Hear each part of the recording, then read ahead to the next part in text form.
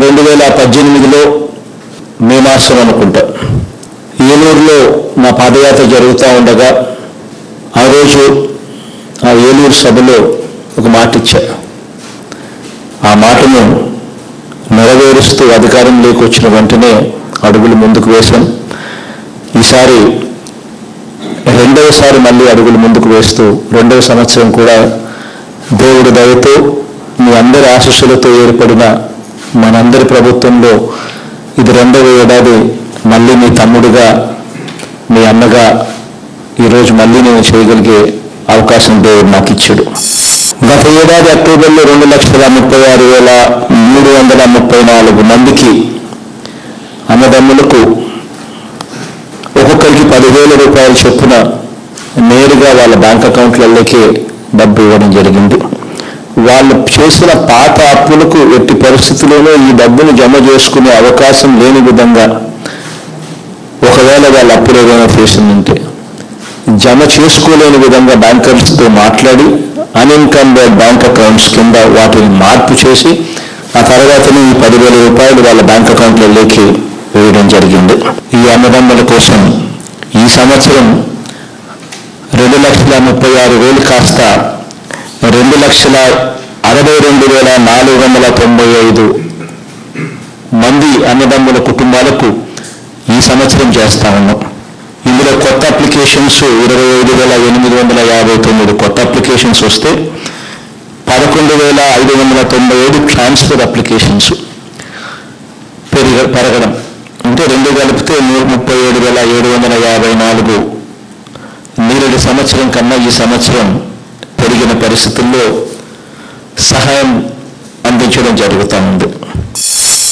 నిజంగా కోవిడ్ సమయంలో ఇబ్బందులు పడతా ఉన్న వర్గాలకు తోడుగా ఉండాలి అనే ఉద్దేశంతోనే ఈ జూన్ మాసంలో రకరకాల వర్గాలకు తోడుగా ఉండేందుకు ఆల్రెడీ ఇంతకుముందే క్యాలెండర్ కూడా ప్రకటించాం. ఏ నెలలో ఏ కార్యక్రమం చేయబోతా ఉన్నాం ఏ నెలలో ఏ డేట్స్ ప్రకారం ఏం చేయబోతా ఉన్నాం అని కూడా క్యాలెండర్ ప్రకటించాం. అందులో ఈ జూన్ మాసంలో ఈ నెల నాలుగో తారీఖున ఆటో సోదరులకు టాక్సీ సోదరులకు అయితే పదో తారీఖున రజకులు నాయి బ్రాహ్మణు టైలర్ సోదరులకు పదిహేడో తారీఖున చేనేత సోదరులకు ఇరవై నాలుగో తారీఖున కాపు సోదరులకు ఇరవై తొమ్మిదిన మళ్ళీ ఎంఎస్ఎంఈ అంటే ఈ ఈ సూక్ష్మ అండ్ చిన్న సంచిన్న మధ్యతరగతి పరిశ్రమల్లో ఊరటను కలిగించే కార్యక్రమానికి డేట్స్ ఇవ్వడం జరిగింది. ఈ కార్యక్రమం చేస్తా ఉన్నప్పుడు ఎంతమంది పరిస్థితి ఏమిటి అని చెప్పి చూస్తే రెండు లక్షల అరవై రెండు వేల నాలుగు వందల తొంభై ఐదు మంది పరిస్థితుల్లో నిజంగా పరిస్థితి ఏమిటి అని చూస్తే ఎస్సీలలో దాదాపుగా అరవై ఒక్క వేల మూడు వందల తొంభై మంది కుటుంబాలు ఉన్నాయని పది ఎస్టీలలో దాదాపుగా పదివేల నలభై తొమ్మిది కుటుంబాలు ఉన్నాయని బీసీలలో దాదాపుగా లక్ష పదిహేడు వేల తొంభై ఆరు కుటుంబాలు ఉన్నాయని మైనారిటీస్లో ఇరవై ఎనిమిది వేల నూట పద్దెనిమిది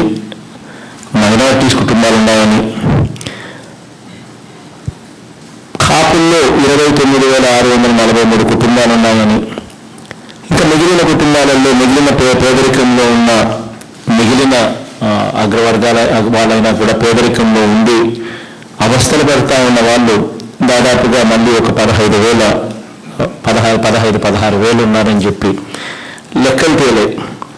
వీరందరికీ కూడా ప్రభుత్వం తరపున చేయగలిగిన మేలు ద్వారా వీళ్ళందరికీ మంచి జరగాలని మనస్ఫూర్తిగా కూడా కోరుకుంటూ ఈ కార్యక్రమానికి శ్రీకారం చుడతా ఉన్నాం. ఎక్కడైనా పొరపాటున ఎవరికైనా రాని పరిస్థితి ఎక్కడైనా ఉంటే ఎవరు కూడా కంగారు పడాల్సిన పనుల. ఎందుకంటే మన ప్రభుత్వ ఉద్దేశం ప్రతి ఒక్కరికి కూడా మంచి జరిగించాలనే ఉద్దేశం. ఏదైనా కూడా ట్రాన్స్పరెంట్గా చేయాలి. అర్హత ఉండి రానివాడు ఎవరైనా కూడా ఉండకూడదు అన్నది ఈ ప్రభుత్వం గట్టిగా నమ్మిన సిద్ధాంతం. ఆ అర్హత ఉండి రాని పరిస్థితిలో ఉన్నవారు మనకు ఊటు వేయని వారైనా పర్వాలేదు. ఖచ్చితంగా వాళ్ళకు మాత్రం మంచి జరగాలి అని చెప్పి ఖచ్చితంగా ఈ ప్రభుత్వం గట్టిగా నమ్మిన సిద్ధాంతం. ఇంకా ఎవరైనా కూడా పొరపాటున ఏదైనా కూడా మిగిలిపోయి ఉంటే మనం గ్రామ సెక్రటేరియట్కు వెళ్ళండి ఆ వార్డు సెక్రటేరియట్కు వెళ్ళండి.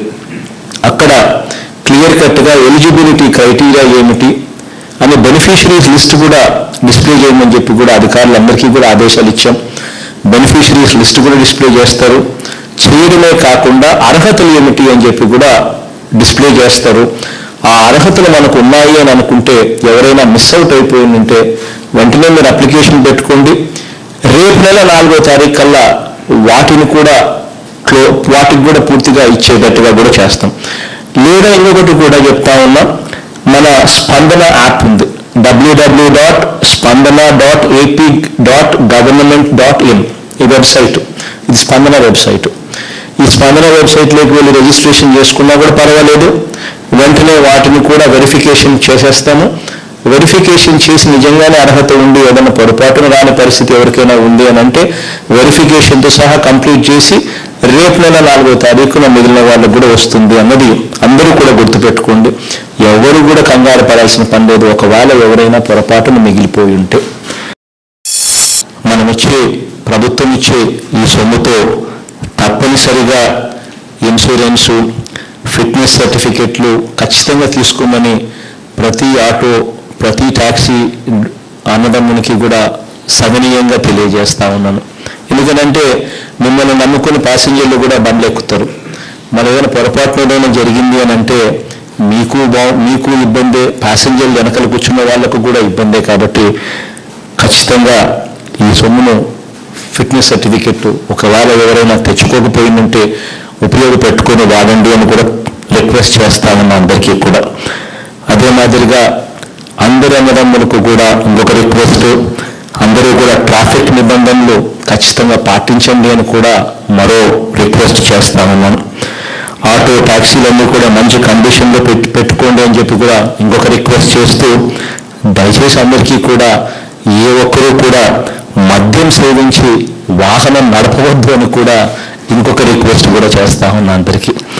అందరికీ మంచి జరగాలని మరొక్కసారి దేవుణ్ణి ప్రార్థిస్తూ చల్లని మీ అందరి చల్లని దేవుళ్ళతో దేవుడి దయతో మీ కుటుంబ సభ్యుడిగా మీ ఇంట్లో అన్నదమ్ముడిగా మీతో పాటు ఈ మంచి సమయంలో పాలు పంచుకునేదానికి దేవుడు నాకు అవకాశం ఇచ్చినందుకు దేవునికి కూడా కృతజ్ఞతలు తెలుపుకుంటూ మీ అందరికీ మనస్ఫూర్తిగా మంచి జరగాలని చెప్పి ఈ కార్యక్రమానికి శ్రీకారం చుడతా ఉన్నాను.